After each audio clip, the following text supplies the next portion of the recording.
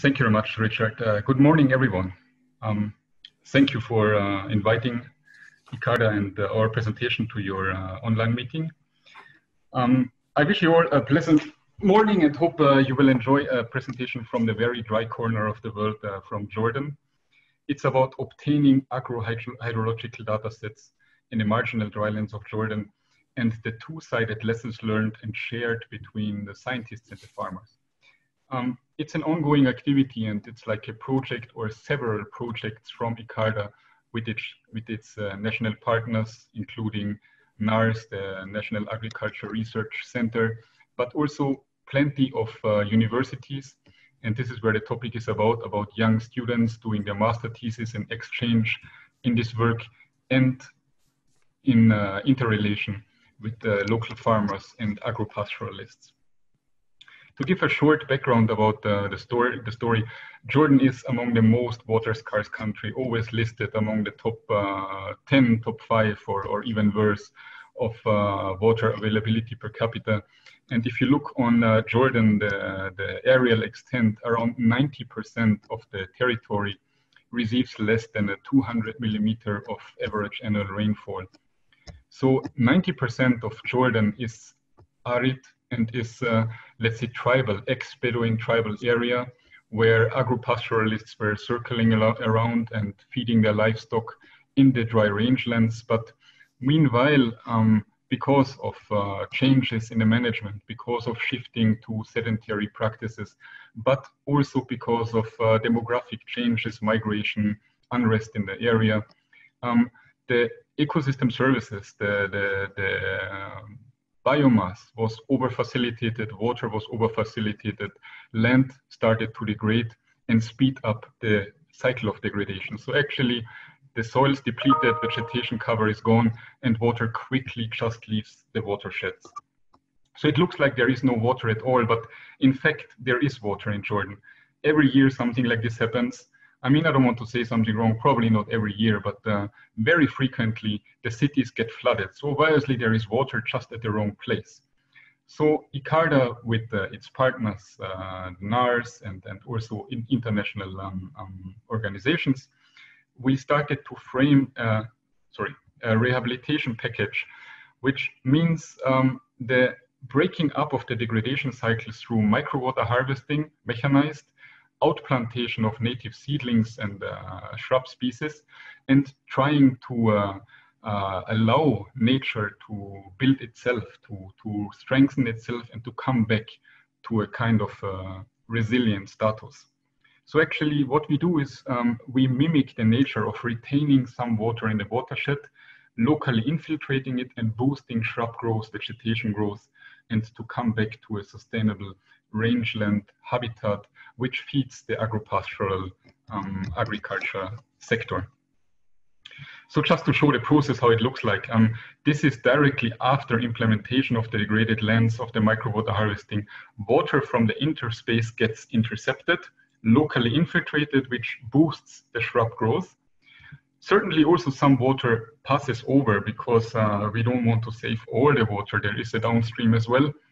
And also sediments and seed material get stored in this kind of pockets to thrive also, let's say, the seed material, which is still stored in the soil. So in the end, water gets harvested, water gets locally infiltrated, and this gives a chance for nature to come back.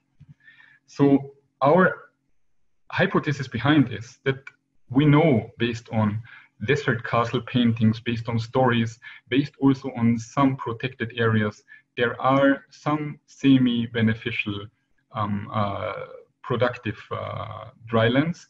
They were degraded to the lower left corner and our breaking up the cycle approach would move it back.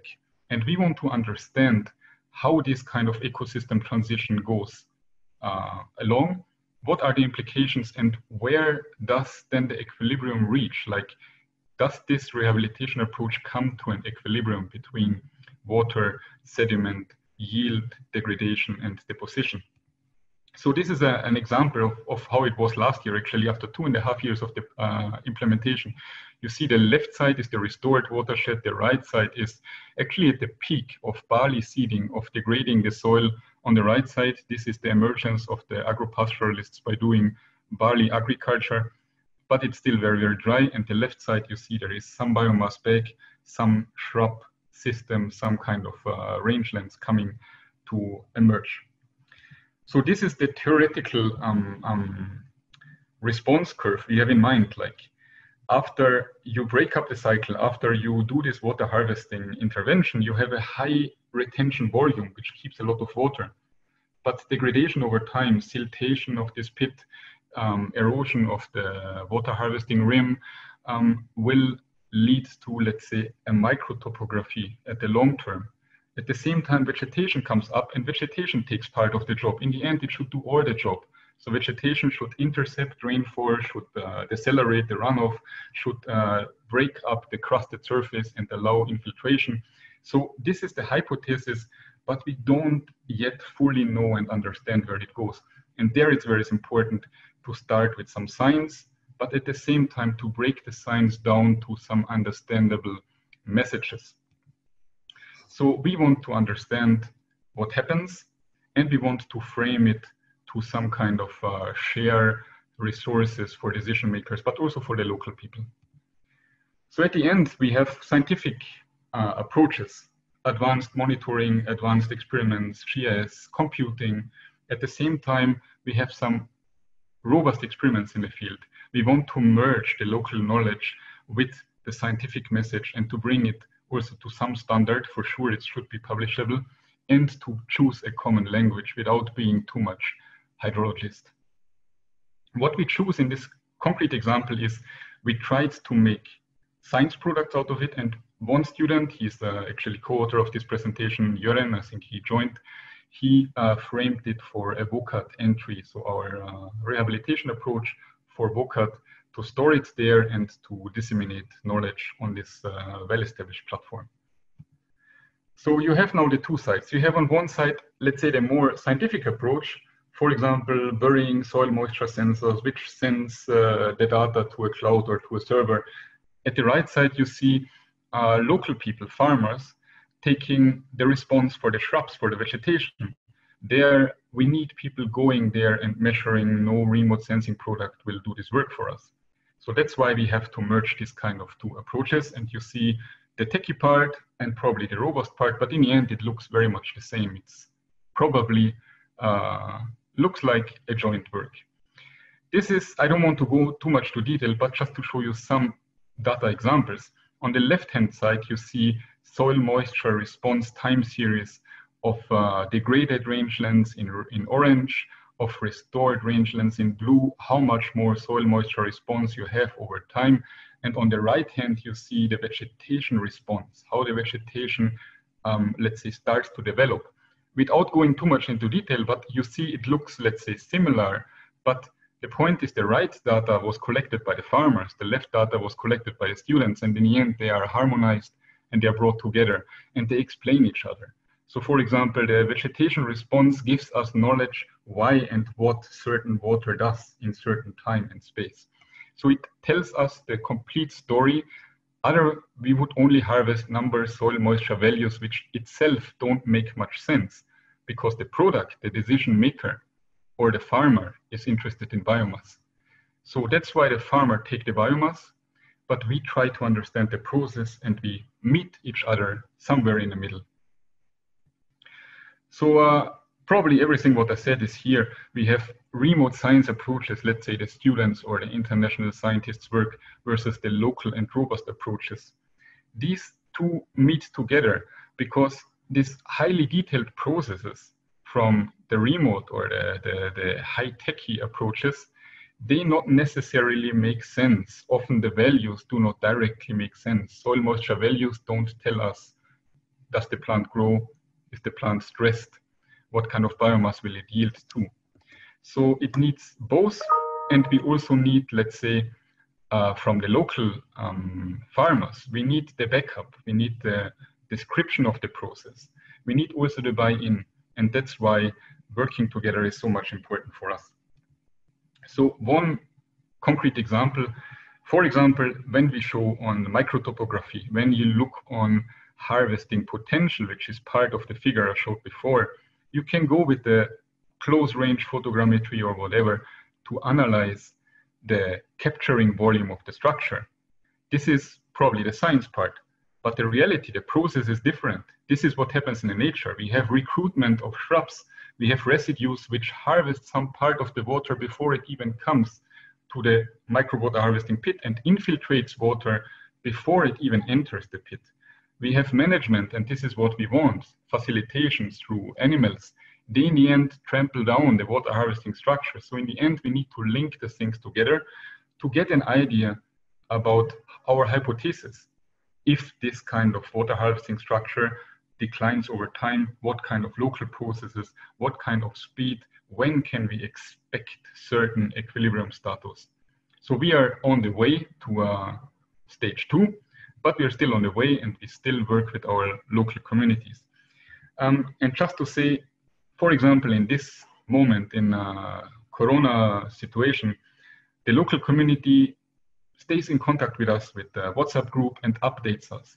They look on processes which occur just in a moment, like a dust storm. This picture was taken by a local guard, by someone who takes the hydrological measurements. He just took the picture and told us this and that happens. If we cannot enter the site or if we cannot explain processes, for example, this is a picture from just two months ago in the lower left corner, this is hail. So water comes in hail and ice and we don't understand the response time from precipitation to runoff. But these pictures and the groups and, the, and our local partners explain why certain process changed. And at the same time, they facilitate, they manage the land and they stay in contact and update us on uh, what happens. So eventually this helps us to come up with quite complex models for outscaling um, just to show you, we link different on-site data with modeling to come in the end to a product which helps us to assess ex-ante outscaling to other areas not yet uh, approached. Um, at the same time, by our science products, so the science products we deliver, let's say for science publication, also for ex-ante assessment, for probably narrowing the message down for decision makers, but at the same time, we need to fill in the information, let's say digestible for decision makers, which is the right side. You see the WOCAT entry. Uh, our student uh, did this. He, he went to the field, he assessed on the site, he made expert uh, questionnaires and tried to bring this techie data into something understandable in some sheets for decision makers. And at the same time, we also raise awareness from the local people. They, they know the process behind, but sometimes they under consider the importance of what they do and probably sometimes even the linkages. So at the same time, we try to break it down. Um, the lower left corner you see uh, from, uh, this was uh, a play, like a theater play, which a social scientist did. Uh, she made a nice choreography with the students in the school and made a play around sustainable facilitation of, uh, of uh, assets in the rangelands. That's how we try to get knowledge from these people, but at the same time to share and feedback what we find to raise also the local awareness. In the end, it might look like um, the techie part is done by the students and the robust part is done by the farmers, but that's not always the, the case. Here you see a picture of uh, partially ICARDA, partially uh, students, and partially local farmers. And just as an example, also the local farmers helped us with uh, time domain reflectometry, soil moisture sensing. So in the end, also this capacity was enhanced. At the end, the lessons learned and shared was to better understand each other, for example, local students or international students which come to the site start to understand local processes, start to understand uncertainty and reliability of data, and framing the right research questions. Um, the value of scenario point is many times we get students, for example, from the Netherlands, quite advanced students when it comes to modeling, remote sensing. And then when it comes to modeling in our data scarce area, the first question always coming, we don't have validation and calibration data. And then is when we go back to the Bedouins and ask them, uh, from the last 40 years or 30 years, how many times per year in average is this area flooded? How many times this and that happens? So that's where we try to find the local knowledge as the right verification and uh, calibration data. And then people start to understand that modeling and ex ante assessment is especially for this, to assess areas which there is no data yet or no time series. And then to link the short term high-techy part with the process and the long-term memory. At the same time, the local partners, they sometimes need to be reminded about their, uh, their uh, local knowledge they have. So sometimes they are not that much aware about it. And the awareness of the processes of slow infiltration is related with land degradation. Many times people come to us and say, okay, what can we do? I saw in this experiment, it took two days for water to infiltrate. What's the problem? So it raises really the kind of awareness, but at the same time, it's um, capacity development on technologies, on administration, and also on communication and the openness to exchange with students and science. And by, by creating this openness for, for exchange, uh, also opening the, the willingness to change the behavior to also allow sustainable management of what we achieve uh, together. Um, yeah, that was uh, in a nutshell about this uh, project. Uh, thank you very much. And uh, I think I used my time already. So thank you, Richard.